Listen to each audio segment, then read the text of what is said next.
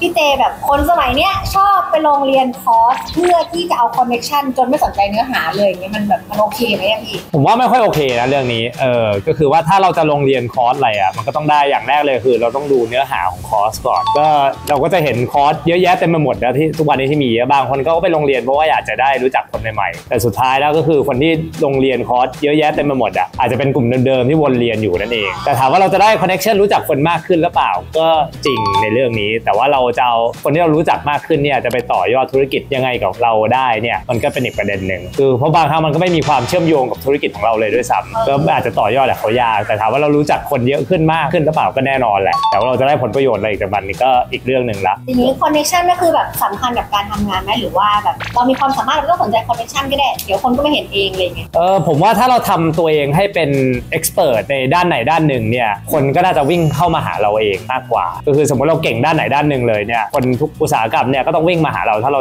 เขาต้องการความรู้เรื่องนั้นที่เราเป็นเอ็กซ์เพรสทีอยู่นั่นเอง ก็คือเราก็ต้องสร้างความรู้ให้ตัวเองแบบว่านั้นน่าจะเป็นสิ่งที่ดีที่สุดแล้วทำให้ตัวเองเป็นที่รู้จักแล้วกันในสิ่งที่เราถนัดเออเรียนคอนแล้วหาแฟนได้จริงปะเออก็น่าจะหาได้นะถ้าคนไปเรียนนะเห็นเห็นหลายคู่หาได้อยู่